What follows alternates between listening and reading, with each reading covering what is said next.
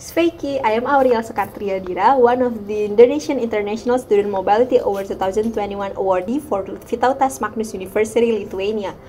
I am a chemical engineering student from UPN Veteran Jawa Timur. In this video, I'll tell you about my journey from the beginning until the end of this program, so keep on watching!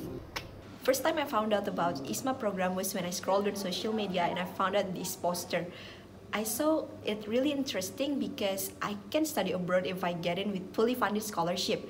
Then I opened up uh, the link written on that poster and I saw the requirements and the details of the program. I saw that there's a lot of university that they offer starting from Asian country, American and Europe. That day when I found out about the IISMA program was the day before uh, the registration day opened. So uh, I collect all of my documents needed for the application and unfortunately at that time I don't have any English proficiency test. At that point I look up for every English proficiency test uh, then I chose the fastest one which is Duolingo English test and uh, I took it. Uh, long story short, I got all of the documents on time then I chose Vytautas Magnus University as the host country because they offer the course that suits in me and I submit my application three hours prior to the deadline.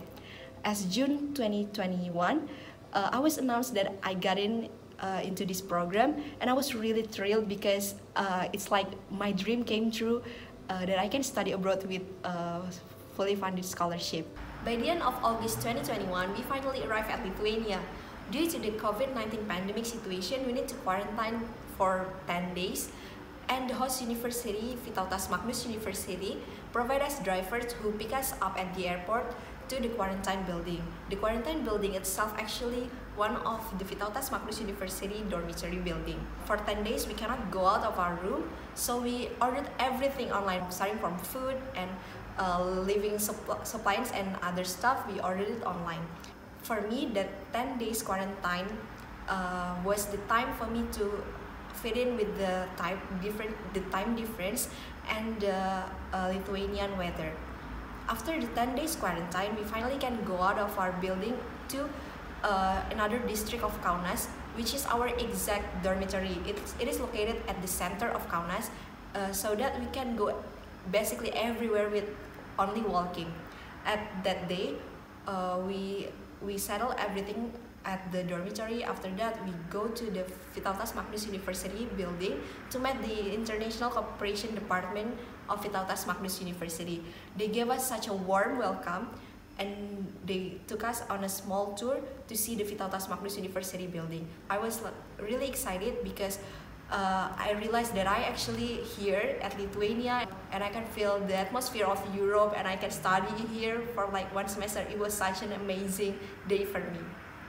After I live in Lithuania for one semester, I can see the difference between Lithuania and Indonesia. The first thing first is their education system. It is interesting to learn uh, about something in a class with with many diversity and multiculturalism so we got new insight or new perspective for, from another directions of the world also i get more opportunities to tell my opinions or my thoughts uh, without having any fear to being wrong. That's why I love the discussion in the class. Not only academic aspects, I also admire Lithuanian lifestyle.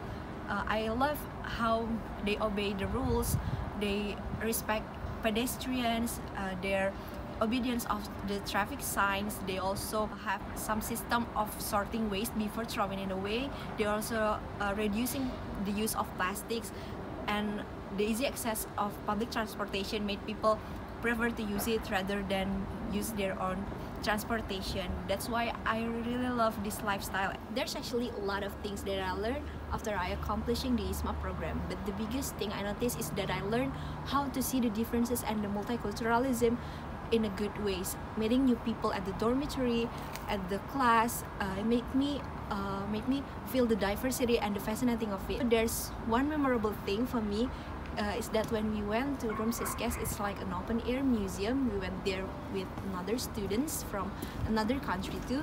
Uh, we learned about Lithuanian tradition there, starting from their traditional houses, costumes, folk dance, music, and even we tried their traditional food too.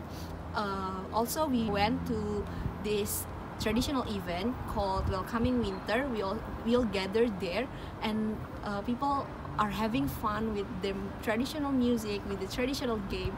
There's it was such an amazing experience for me. My commitment to IISMA from the beginning until now is still the same. I want my experience that I got here not only valuable for me but also to my friends, my family, and people who knows me.